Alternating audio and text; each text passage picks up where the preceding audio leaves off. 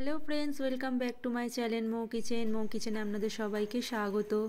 আজ আমি বানাবো টমেটোর চাটনি। টমেটো চাটনি বানানোর জন্য টমেটোকে ভালো করে ধুয়ে নিয়েছি এবং একটি ছুরির সাহায্যে আমরা পাতলা পাতলা করে কেটে নিচ্ছি। এইভাবে সমস্ত টমেটোগুলো আমরা কেটে নেব।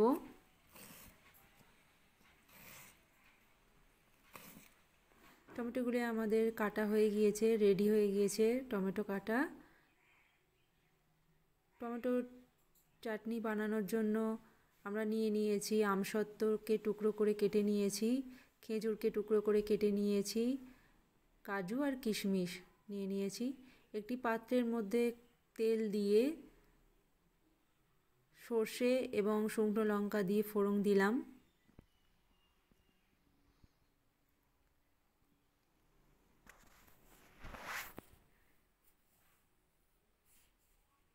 একটি খুন্তির সাহায্যে আমরা নাড়াচাড়া করে নেব।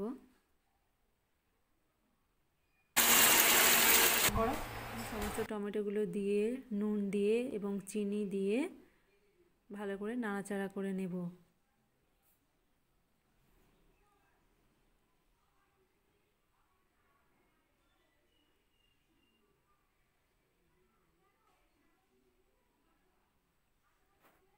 এবং একে একে কাজু কিশমিশের এবং আমসত্ত্বের টুকরোগুলো টমেটোর ওপরে আমরা দিয়ে দিয়েছি।